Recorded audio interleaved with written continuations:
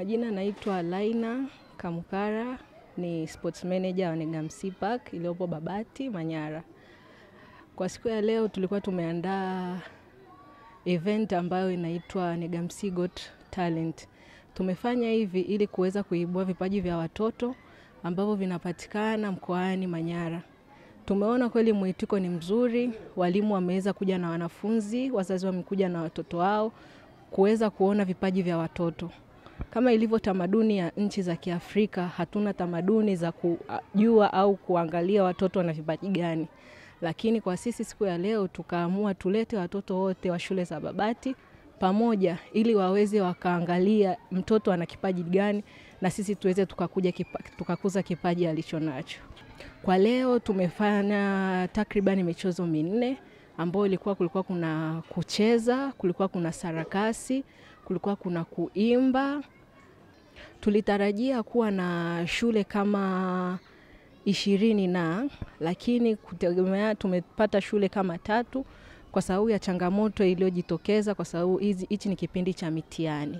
Ndio maana kuna shule zingine zime, zilikuwa zinatamani kuja kushiriki na sisi, lakini mitihani ya halmashauri imeingiliana. Hauwezi ukachukua michezo ukachanganya na mitihani ya halmashauri. Kama tunavyojulikana, ni Park hatupoi wala hatuboi. Hichi ni kitu ambacho kinaendelea, tutazidi kukiendeleza mbele mbele mbele mpaka tuweze tukajulikana kila mahali kwamba sisi tunapenda watoto na hichi ndio kitu ambacho tunafanya. Asante. Hapa kuna vitu vingi ambavyo vinafanyika. Michezo ya watoto hususani ndo imejikita sana sana, ndio mingi. Tuna michezo ya kisasa ambayo imetoka mbali sana, ambayo ni mikubwa na gharama yake ni kubwa.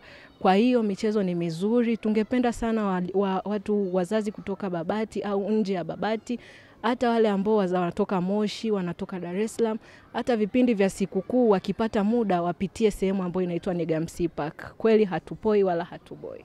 Jina langu ni Mwanaisha Mbaruku Abdalla. Mimi ni mkuu wa shule ya Babati Muslim. Nimekuja hapa leo Negamsi Park kwa ajili ya kuangalia vipaji vya watoto. Watoto wa shule tofauti tofauti walikuwa wanashindana hapa kwenye vipaji mbalimbali mbali. Kwenye michezo mbalimbali wameshiriki na kweli watoto wameonyesha vipaji vyao. Hili ni jambo muhimu sana kwa wanafunzi kwa sababu mtoto bila michezo hawezi kujifunza vizuri. Michezo inaboresha afya, michezo inachangamsha akili.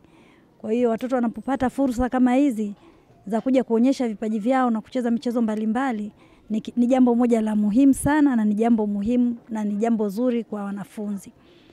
Vile vile wanafunzi hao wamepata fursa ya kuonyesha vipaji vyao na kujuana, kwa sababu kila shule wanakaa shuleni kwao, wanasoma shuleni, hawajui watoto wa shule nyingine wanafanya nini, wakoje. Kwa hiyo pia imeleta urafiki baina ya shule na shule, imeleta urafiki baina ya walimu wa shule moja na walimu wa shule nyingine, kwa sababu hapa wamekuja mpaka walimu shule kutoka Katesh, wengine wametoka Galapo, wengine wametoka hivyo.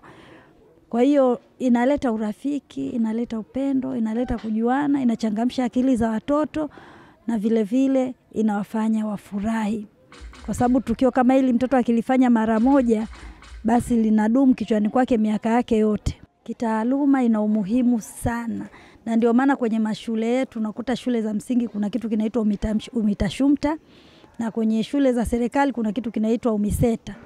Hizi zote ziko kwenye mtaala wa elimu. Lengo ni lile lile katika kumwezesha mtoto kujijenga kimichezo, kujenga mwili wake pamoja na akili yake kuichangamsha. Sasa vile vituo vinatokea mara moja tu kwa mwaka na wanaopata nafasi ya kushiriki ni wachache, lakini kitu kama hiki kilichofanywa na hii Negamsi Park imejumuisha wanafunzi wengi na kila mwanafunzi ambaye ana chochote alichonacho alipata nafasi ya kushiriki. Kwa hiyo mimi ninachowashauri wazazi wenzangu unaposikia watoto kuna, tusisubiri tu yale ya UMISETA na UMITASHUMTA. Hata huku tunaweza tukaandaa matamasha kama haya, watoto wakapata fursa za kucheza, wakapata fursa za kufurahi, wakapata fursa za kujuana, na sisi walimu na wazazi vile vile tukajuana. Kwa majina yangu naitwa Mwalimu Rebeka, natoka shule ya Manyara Alliance, ipo katika mkoa wa Manyara, Galapo.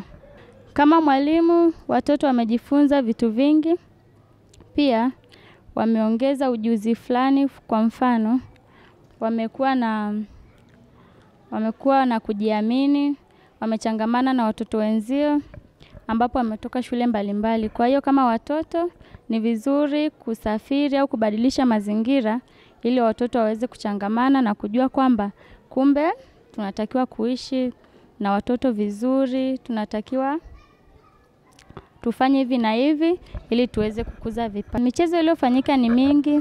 Kwa mfano, kuna michezo ya kuimba, watoto wameimba vizuri. Kuna michezo ya kucheza dancing, watoto wamedansi vizuri.